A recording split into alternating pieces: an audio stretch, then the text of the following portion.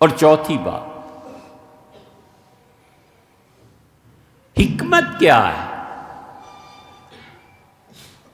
हिकमत यह है कि शय की हकीकत को समझे और अशिया के हकायक को समझने के बाद जो कुछ उसका तकाजा है उस पर अमल करे।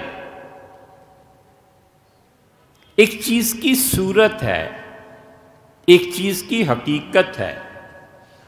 सूरत यह है कि ये महल है और हकीकत ये है कि कोई साहिब नज़र आरिफ बिल्ला देखता है तो कहता है कि फो ये महल तो मर गया। ही क्या हो गया? मालूम होता है उस महल का बादशाह मर जाएगा अब और ये महल उजड़ जाएगा।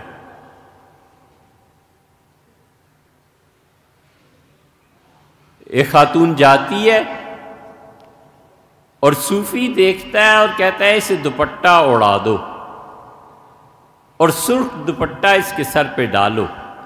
समझदार औरत वापस हो जाती है कि इसका मतलब है, मैं आई थी बेटी के रिश्ते के लिए इससे सुर्ख दुपट्टे और लिबास का का ये रिश्ता अब हो जाएगा। अशिया की हकीकत और होती है और अशिया की सूरत और होती है। जो अल्लाह का बंदा अशिया की हकीकत को जानता है, फिर जो हकीकत का तकाजा होता है, उसके मुताबिक अमल करता है।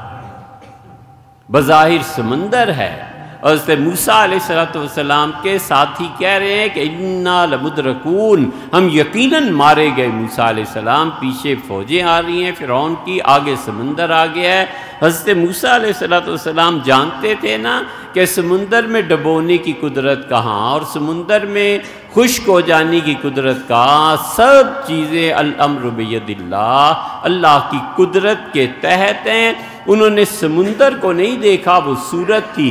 हकीकत पर नज़र गई कि वो अल्लाह की कुदरत है। आनंद फानन पार हो गए और उसी समुंदर ने फिर को डबो दिया। वो जब समझ गए कि समंदर खुश्क है तो उसमें उतर गए, क्योंकि हिकमत का तकाजा यही था।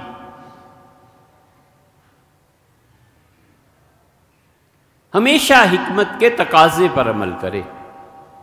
जब अपना वजूद ही कुछ नहीं है, हकीकत है ना, वजूद अल्लाह ही का है, मेरा कुछ वजूद नहीं है तो अब क्या लड़ना है, क्या झगड़ना है?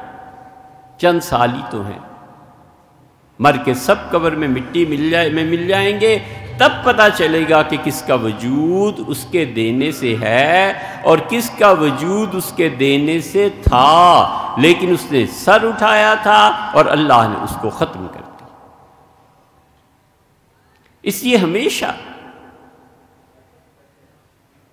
अपने वजूद को मुस्तार और फ़क्र समझे कि मैं कुछ नहीं हूँ।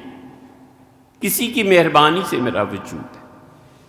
मैं हूँ ना हूँ, कायनात पे कोई फ़र्क नहीं पड़ता, लेकिन जिस शहनशाह को मैंने माना है ना, अगर वो ना माना जाए तो कायनात में कुछ भी नहीं है। और अशिया की सूरत में और हकीकत में फ़र्क है और हिकमत यह है कि हकीकत के मुताबिक अमल किया जाए। और रिज्क मशीयत बारी ताला के साथ बंधा हुआ है। मेरे कसब के साथ नहीं, ये सूरत है रिज की, कसब करना, दफ्तर जाना, तिजारत के अख्तियार वगैरह वगैरह, ये सब सूरत है। हकीकत उस पैसे की क्या है? वो मशीयत इलाहिया है। वो हकीकत उसके साथ वाबस्ता है, वो चाहे तो है, ना चाहे तो नहीं।